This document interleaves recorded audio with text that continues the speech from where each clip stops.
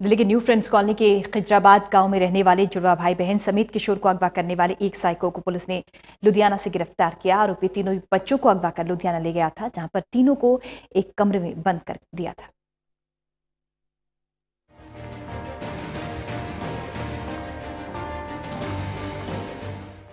Police के गिरफ्त में खड़े इस शख्स पर तीन बच्चों का अपहरण करने और बंधक बनाने का आरोप है। पुलिस की माने तो 3 दिसंबर की शाम को आरोपी ने खिजराबाद गाँव से दो जुड़वा भाई बहन और उसके मौसी के लड़के का अपहरण कर लिया था। इसकी सूचना के बाद पुलिस ने आरोपी के खिलाफ अपहरण का केस दर्ज कर जाँच शुरू कर दी। आसपास लगे सीसीटीवी फुटेज की जाँच की गई तो एक सीसीटीवी फुटेज में एक संदिग्ध के साथ तीन बच्चों को जाते हुए देखा गया।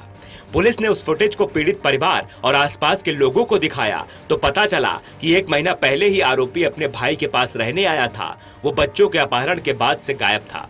पुलिस ने भाई से पूछताछ की तो उसे भी आरोपी के बारे में कोई जानकारी नहीं थी। जिसके बाद पुलिस उसके मोबाइल को सर्विलांस पर डाल दिया है। मोबाइल सर्विलांस से उसका लास्ट लोकेशन होशियारपुर में दिख रहा था। पुलिस टीम होशियारपुर पहुँची और वहाँ के रेलवे स्टेशन गुरुद्वारा रैन बसेरा हर जगह बच्चों की तलाश की गई। लेकिन आखिरकार तीनों बच्चे एक स्लम इलाके में 11 दिसंबर की रात को एक कमरे के अंदर मिले।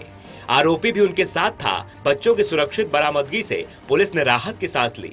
पूछताछ में जानकारी मिली कि आरोपी मधुबनी बिहार का रहने वाला है। उसकी पत्नी और तीन बच्चे भी हैं। लेकिन वह उनसे कोई मतलब नहीं रखता था। यहाँ तक कि वो अपने गाँव भी नहीं जाता था। उसके तीनों बच्चों को अच्छा खाना खिलाने की बात कहकर अपने साथ ले गया था। जहाँ वह बच्ची के साथ छेड़छाड़ करता था, विरोध करने पर तीनों बच्चों की पिटाई करता था। वह बच्ची के साथ यौन शोषण करना चाहता था, जबकि दोनों बच्चों से भीख मंगवाने का काम करवाना चाहता था। पुलिस अब आरोपी को कोर्ट में पेश कर रिमांड पर लेने की कोशिश कर रही है, ताकि उसके बारे में और भी जानकारी मिल सके। Rakesh Soni total news Delhi.